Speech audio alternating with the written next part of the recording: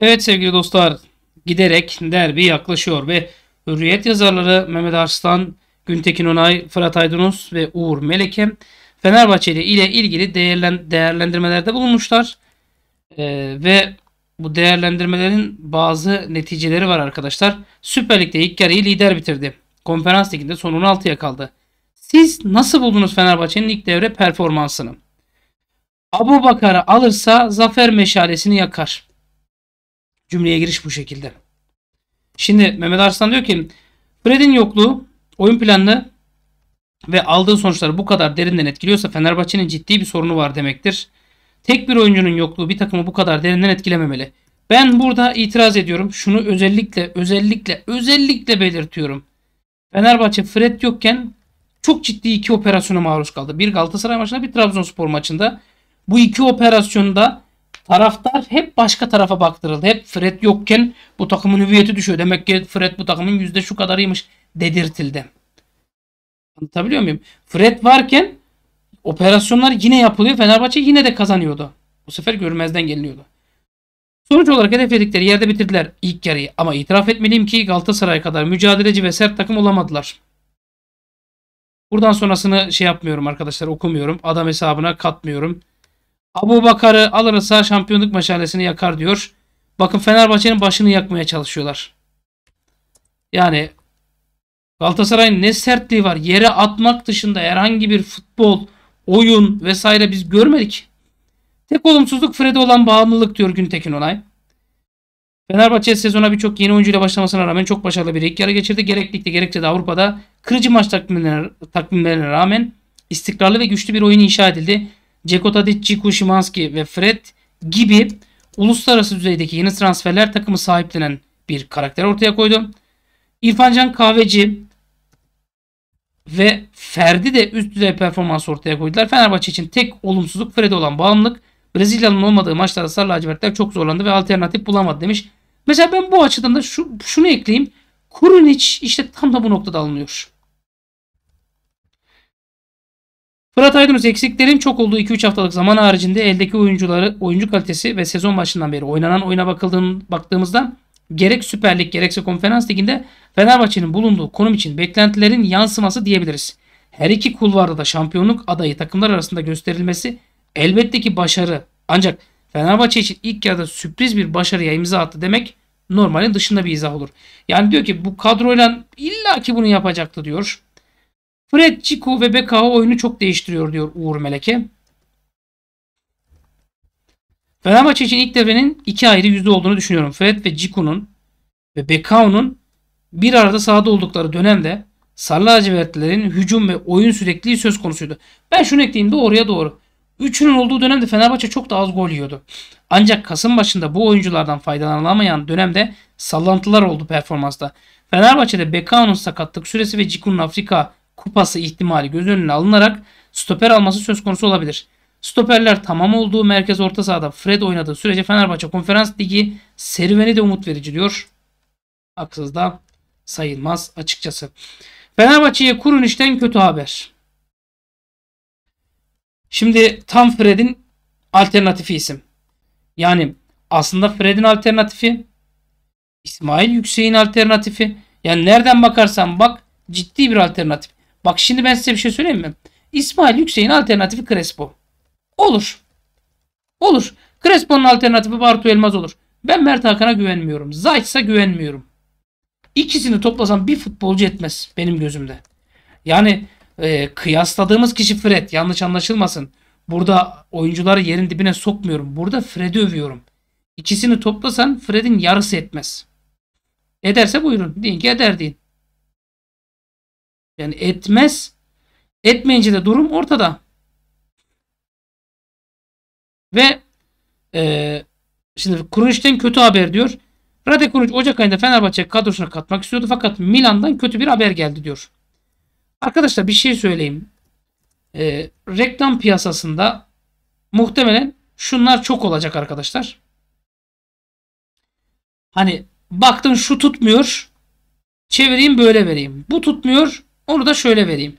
Bu tutmuyor. Onu da böyle vereyim diye. Bu çok fazla olacak arkadaşlar. Ee, o yüzden her şeye inanmamanızı şiddetle tavsiye ederim. Umarım ne demek istediğimi anlamışsınızdır. Anlamadıysanız da canınız sağ olsun. Şimdi Kuruniç'te yeni gelişmeler yaşanıyor. İsmail Kartal ısrarla istediği Kuruniç'te e, sezon başında olmadı. Fenerbahçe ne kadar da anlaştı da Pioli göndermemişti. Ocak ayında da tekrardan kadrosuna katmak istedi. Ancak Fenerbahçe'ye kötü haber geldi. Nereden kötü haber geldi? Bağdat'tan. Bağdat'tan kötü haber geldi Fenerbahçe'ye. Milan'da kalabilir. Tutto Mercado'nun aktardığı habere göre Milan yeni sakatlıklardan dolayı Kuruniç'i takımda tutma kararı alabilir. Sakatlıklardan dolayı karar alabilir. Bir sene sahalardan uzak kalıyor. Geçen sezonki performansının gerisinde kaldı. Formasını sakatlıktan dönen İsmail Benaker'e kaptırdı. Cezayirli futbolcu geçirdiği diz ameliyatı sebebiyle yaklaşık bir sene sahalardan uzak kalmıştı diyor. Bu sezon Kurunic ne yaptı? Serie A'da 10 Şampiyonlar Ligi'nde 4 olmak üzere toplam 14 resmi maça çıktı. 896 dakika süre aldı. Gol asist katkısı yapamadı. Arkadaşlar bu haber baştan sona ısmarlama, tıklama amaçlı ee, hani yalan bir haber. Anlatabiliyor muyum? O yüzden bu tip haberlere ihtimal vermeyin. Bu tip haberlere güvenmeyin arkadaşlar. Tamamen palavra kafadan atma haberler. Ha Kurunic ben demiyorum kesin bizde şöyle bizde böyle bizde demiyorum. Yanlış anlamayın. Ancak kurun için olayı başka. Yani kurun için olayı başka. En düşük bedelle almaya çalışıyoruz arkadaşlar. Ee, bakalım olacak mı olmayacak mı ne olacak? Arka adalesinde hafif ağrısından Ziyech dün ve bugün tedavi edildi. Üst üste maça çıkan Boya dinlendirildi. Sakatlığında Sanchez Oliveira dışında eksik yok diyor. Kulislerde bu oyuncuların maaşlarını alamadıkları için maça ve idmana çıkmayı reddettikleri yönünde haberler var. Ne diyeceksiniz diyor ama dediğim gibi biz işimize odaklanalım. Çünkü mesela Savaş Çorlu pazar günü oynanan maçtan sonra antrenmanlarla ilgili kulağıma hiç iyi şeyler gelmiyor. Futbolcuların antrenmandan kaçtığı, Okan Hoca'nın da buna sesini çıkaramadığı, Ziyech, Icardi gibi oyuncuların keyfe keder antrenmana çıkmadığı buna karşı Boey, Torreira gibi oyuncuların bu durumdan çok rahatsız olduğu gelen bilgiler arasında diyor. Şimdi Fenerbahçe taraftarına göre A Spor sadece Fenerbahçe üzerinden algı yapıyor ama bunlar hani yenilir yutulur iddialar değil. Umarım doğrudur. Yani şu maç öncesi umarım doğrudur. Fenerbahçe'ye sürpriz orta saha oyuncusu önerisi Maksimovic. Devre arasında orta sahaya mutlaka bir transfer yapmayı planlayan Fenerbahçe'ye Yetafe forması giyen Nemanja Maksimovic önerildi. Şimdi şunu da söyleyeyim. Arkadaşlar önerildi haberlerini kesin aldı Fenerbahçe. Hayırlı olsun buradan dönmez artık gibi niye algılıyorsunuz ben de onu anlamıyorum. Bakın önerildi. Piyasa değeri 5 milyon euro olan futbolcu da önerilebilir. 80 milyon euro futbolcu da önerilebilir. Senin şu anda bütçen belli. Param belli. Son olarak Getafe forması giyen 28 yaşındaki futbolcunun adını sundular. Öncelik kurun işte diyor. Peki Maksimovic kimdir? 26 Ocak 1995 tarihinde dünyaya gelmiş. 1.89 boyundaki Sırp futbolcu sağ ayağını kullanmaktadır. Bu sezon La Liga'da 18 maça çıktı, 1 gol attı. Sırbistan milli takımında Dusan Tadic'in takım arkadaşı olan Getafe ile sözleşmesi 30 Haziran 2024'e kadar devam eden oyuncu Valencia'dan Getafe'ye 10 milyon euro karşılığında transfer oldu diyor haberde. Şimdi transfer marketine bak Sırbistan milli takımı 48 maç ama 6 milyon euro transfer market değeri düşüşte bir futbolcu 28 yaşında. İki sarı kart görmüş. Merkez orta saha ön libero oynayabilen bir isim. Hani İspanya Ligi nispeten cılız bir lig. En son oradan Josico'yu falan almıştık. Yani e, bizde olmaz ya.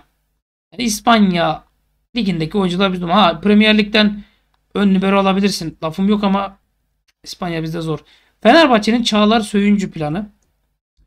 Atletico Madrid'de şanssız bir dönem geçiriyor. Ve Fenerbahçe pusuda bekliyor. Savunmadaki sakatlıklar, e, Afrika Uluslar Kupası Fenerbahçe'nin planlarını aslında alt üst ediyor.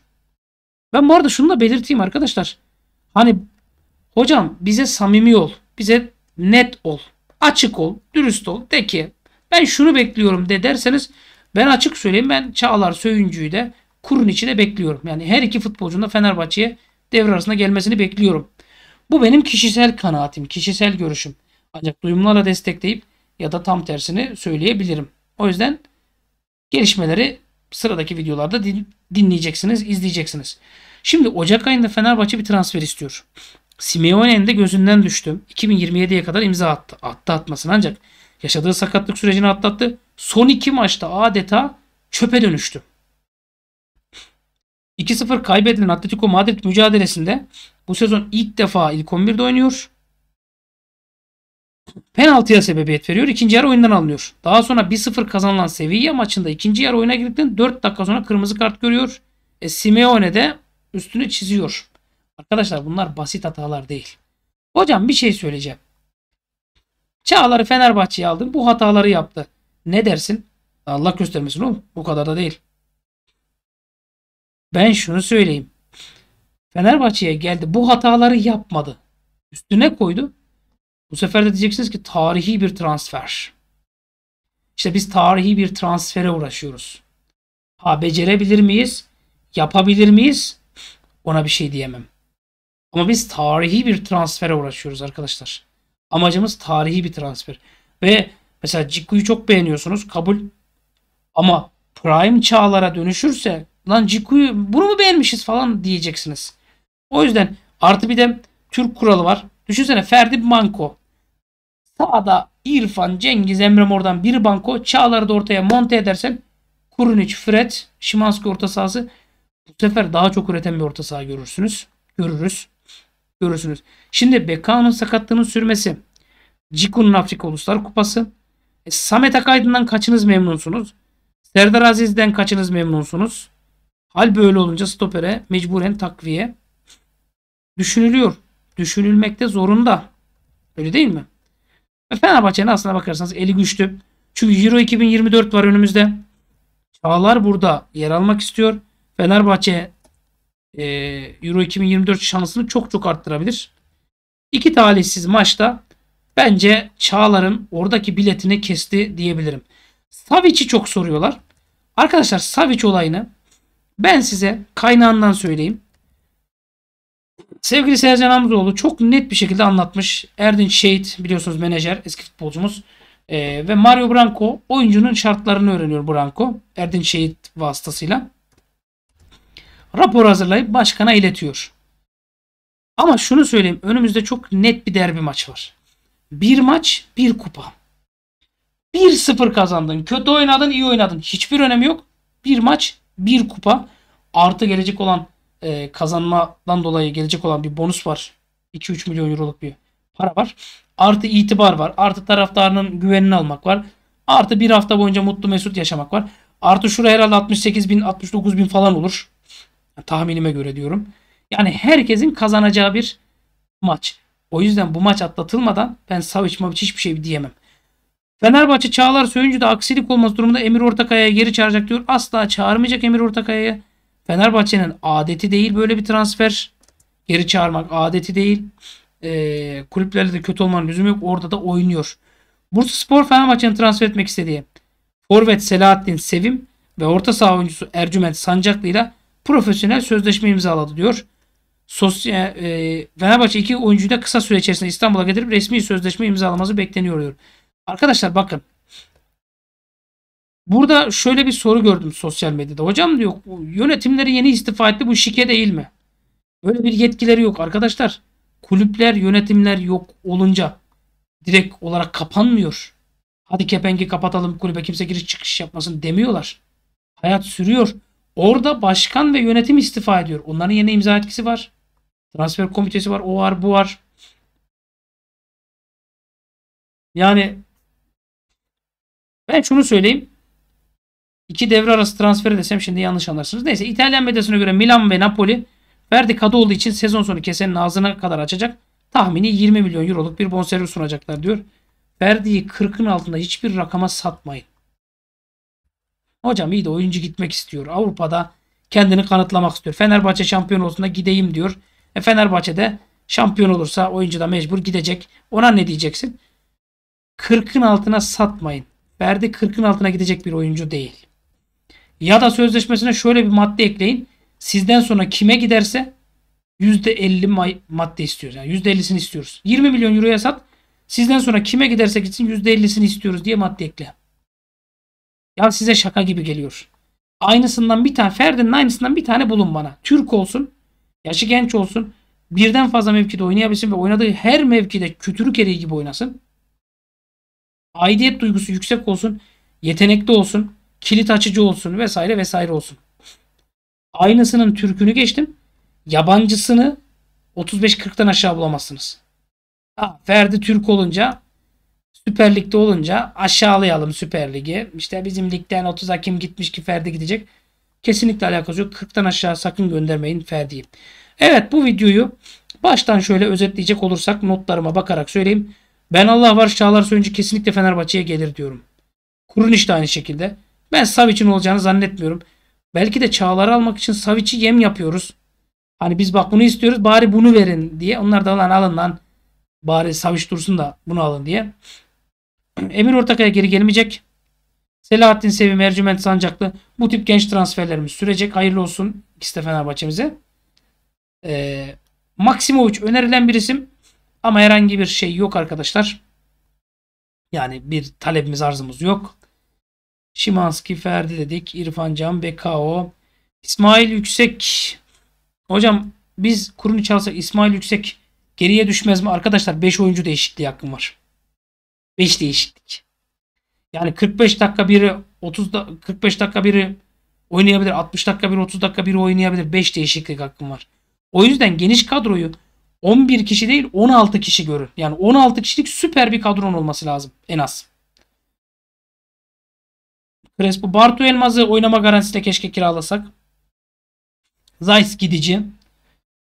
Samet Akaydın Serdar'dan en az biri gidici gibi duruyor ama bence ikisi de gitmez. Yani Samet, Serdar, Çağlar, Bekao, Ciku ikinci dönem bence stoper tandemimiz bu 5 isimden oluşacak. Hürriyet gazetesinin yazarlarının konuşmasını dedik. Abu Bakar Fenerbahçe'ye zarar verir. Sakın almayın. Yani Beşiktaş satan Fenerbahçe'yi mi satmayacak? Galatasaray için inşallah söylenen iddialar doğrudur. Icardi, e, idman falan iddialar doğrudur. Benim aktaracaklarım bu kadar. Bir beğeniyi çok görmezseniz, bir yorumu çok görmezseniz sevinirim. Görüşmek üzere.